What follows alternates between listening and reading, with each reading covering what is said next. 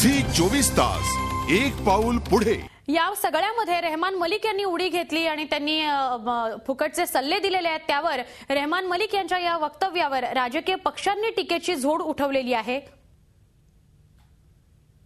देखिए रहमान मलिक को कोई अधिकार नहीं है कि वो भारत में किसको सुरक्षा दें और नहीं दें इस पर बोलने का कोई अधिकार रहमान मलिक को नहीं है। भारत के लोगों को खतरा रहमान मलिक की आईएसआई से है।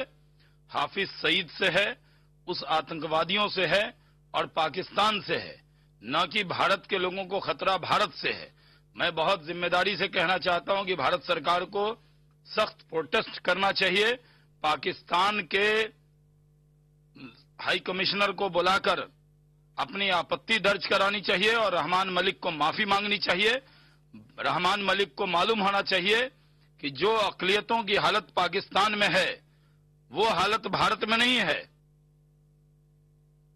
देखिए, ये आतंकवाद की खान से शाहरुख खान के सुरक्षा की गुहार, ये सुरक्षा की बात नहीं है, बल्कि शैतानी साजिश का की बात है।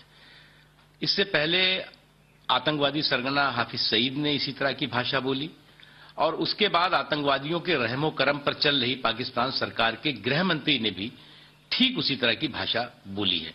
निश्चित तौर से ये बहुत ही खतरनाक मानसिकता के साथ, एक साजिशी मानसिकता के साथ, पाकिस्तान पाकिस्तान की आईएसआई, पाकिस्तान की फौज और पाकिस्तान की सरकार और उसके साथ जो सुपर सरकार वहाँ चल रही है, आतंकवादियों की, वो सरकार भारत के खिलाफ काम कर रही है।